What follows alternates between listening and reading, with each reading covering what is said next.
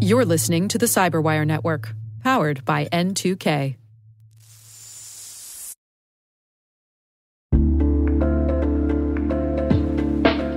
Hey, everybody, I want to take a few minutes here and talk about our sponsor, Splunk. You know, you need to keep operations humming around the clock, but potential disruptions are everywhere. Splunk helps you predict problems and find and fix issues fast so you can reduce risk and ditch downtime. The world's largest enterprises rely on Splunk's unified security and observability platform to become more efficient, resilient, and innovative. With Splunk, you can react quickly, evolve faster, and be ready for anything. Stay ahead of disruptions. Learn more at splunk.com/resilience.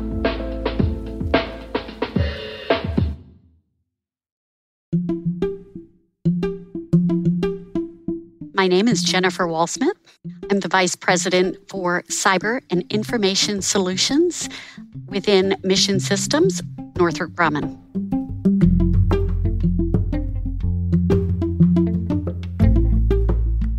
I actually thought I wanted to be a vet when I grew up.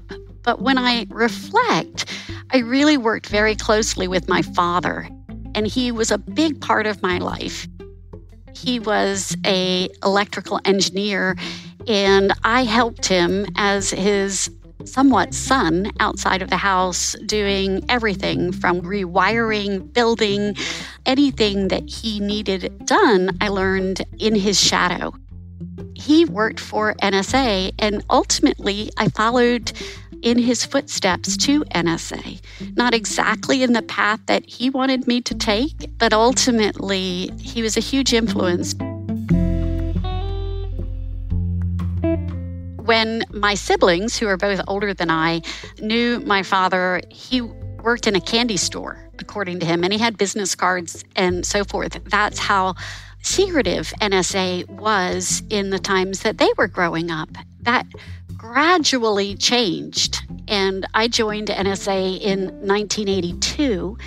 It still was not an openly acknowledged agency. In fact, it was no such agency. But in my journey, they changed and, and they became an organization that was more transparent with the nation on what they were doing and their role and uh, it's one that I grew to understand from two lenses. I was one of only three public figures at NSA in my job as the senior acquisition executive for over 10 years. And so I had the opportunity to balance both of those equities, and it was a fascinating journey.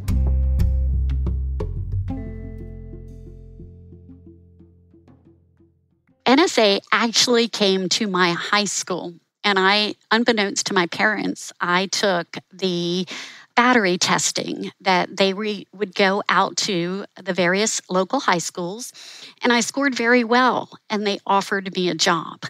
My parents wanted me to go to college, but I was quite a challenging uh, teenager, and I said, No, I'm going to work. I was hired as a data entry operator, but quickly was fortunate to actually work in the field of computer systems analyst. I quickly realized that this college degree was a very important thing. In parallel with starting with, at NSA, they convinced me to enroll at the community college as a night school student. And so I did both of those things. Ultimately, NSA supported me to finish my college career at UMBC as a computer science major.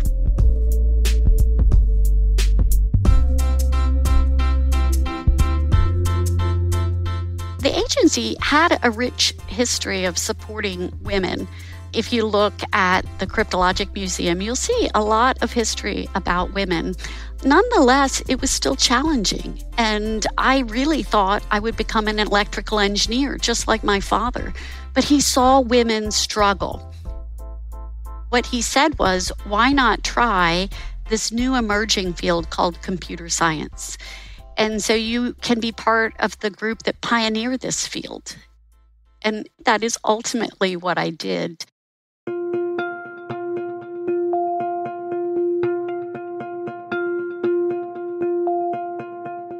I think it remained challenging uh, in the 80s and even in the 90s.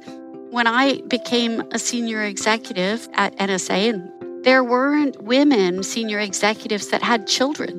While there were many seniors that had been successful, they had to give up their opportunity in motherhood. What I pioneered with those around me and a tremendous support network was that I could do both. I could be a mother with two children I was raising and yet still have a successful career. And having the courage to say, no, I, am room parent today and, and I need to leave, but still meeting the responsibilities that I had by having others support me. It wasn't until much later, close to my retirement, that I had so many women come to me and say, You showed me we could do this. And I didn't even realize it. And so that, that that's very um, nostalgic for me because I didn't set forth to have that impact. It did take bravery and it did have a few arrows in my back, but I would say really not that many. It was about making sure we served the mission but also supported one another in having lives beyond the mission. So it was retirement, and I had the wonderful opportunity to join a company that had a lot of similar values to that which I had, and that was tremendous technical acumen, deep commitment to diversity, diversity of thought, diversity of ideas. When I think of the ideas that we set forth, such as we're pioneers, we define possible, we promote and inspire inclusion and diversity of thought. That's exactly what I hired on for.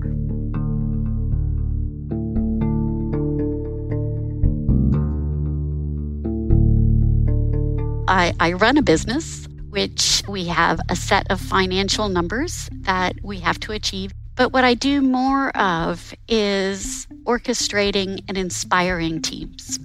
The heart of my job is helping them uh, define possible where they sometimes think they can't. Be bold, embrace failure, never stop learning. And we're all leaders, whether it's your first day out of college whether it's 10 years into your career or whether it's one day before retirement. Regardless of your job title, we are all leaders. That's what will help us keep our nation safe, especially in a field of cyber, where if we don't pioneer, if we don't continue to define possible, we will not be successful against our adversaries. That's my advice.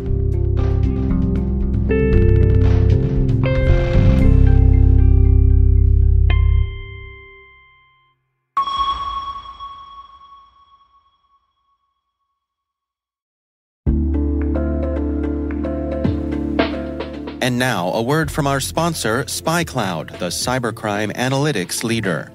SpyCloud disrupts cybercrime by telling you what criminals know about your business and your customers, so you can take action to prevent ransomware, session hijacking, account takeover, and online fraud. SpyCloud constantly recaptures and analyzes new data from the criminal underground, including credentials, session cookies, and PII siphoned from malware infected devices. With knowledge of the specific exposed data criminals have in hand from InfoStealer malware on managed and unmanaged devices, security teams can respond with a more efficient and effective process called post infection remediation that fits seamlessly into existing incident response frameworks. Get SpyCloud's post infection remediation guide outlining the seven steps for preventing a malware infection from becoming a full blown ransomware incident visit spycloud.com slash cyberwire. That's spycloud.com slash cyberwire. And we thank SpyCloud for sponsoring our show.